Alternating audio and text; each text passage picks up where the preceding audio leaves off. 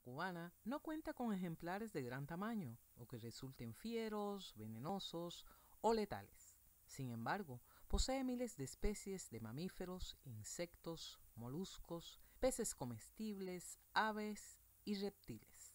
Esta variedad de la fauna en Cuba, unido a la belleza que caracteriza algunos de sus especímenes, le ha ganado el nombre a Cuba de paraíso de los naturalistas.